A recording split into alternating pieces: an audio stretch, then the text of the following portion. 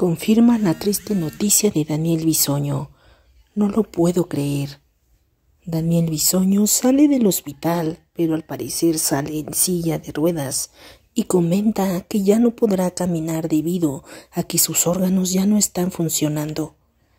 Las primeras declaraciones del médico anunció la triste noticia de Daniel Bisoño al salir del hospital y confirmar que Daniel seguirá todavía en su casa para tratar de rehabilitarse, pues comentan que no pudo pagar la cuenta del hospital, pues eran millones de pesos lo que debía Daniel Bisoño de casi un mes de estar internado, y lo que comentan es que Daniel ya no tenía dinero para pagar además de que no veían avances notorios de su enfermedad, pues al parecer el virus que trae y también el contagio están avanzando cada vez más y no tiene cura.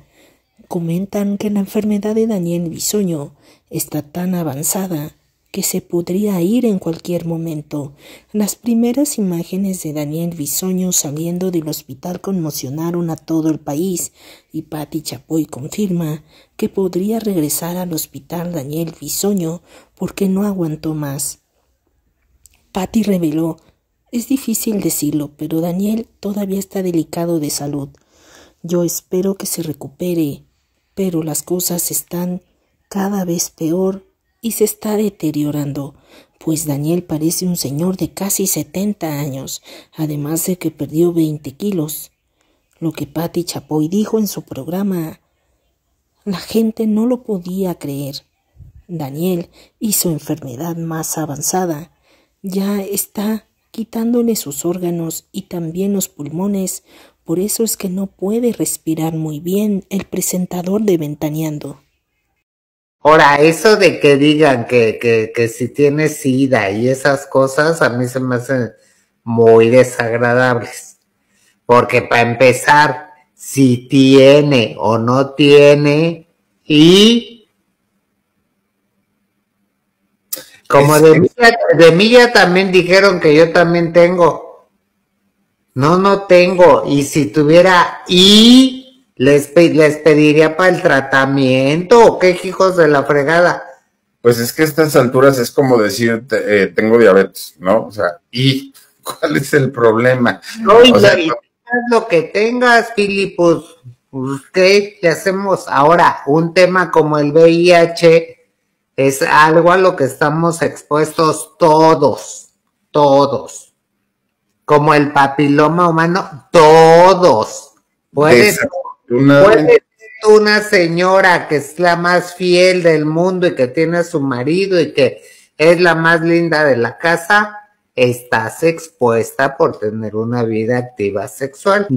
Al inicio del programa el día de hoy, eh, quiero comentarles que ayer me dirigí al hospital donde eh, está internado Daniel Bisoño y la parte médica que me dieron es que efectivamente tiene cinco días en terapia intensiva, está intubado.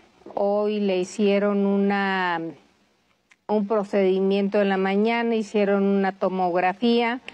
Hoy eh, le van a quitar, obviamente, eh, no sé cómo se llama, el tubo eh, van a checar que pueda respirar por sí solo, cosa que se le dificulta porque muy lamentablemente no tiene los músculos.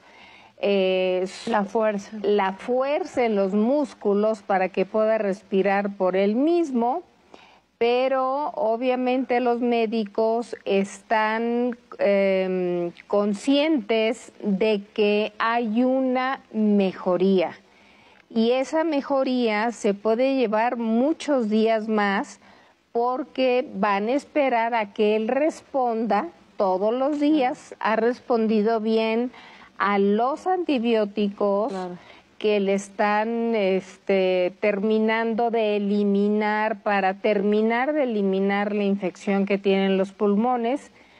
Y a partir de ahí pues esperar a que él se reponga, esté los